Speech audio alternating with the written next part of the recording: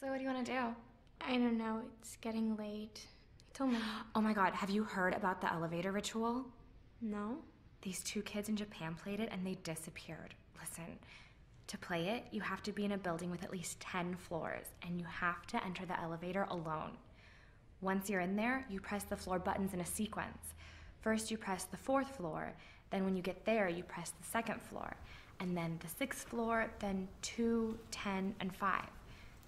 If you do the sequence correctly, you press one and you'll go up to the 10th floor.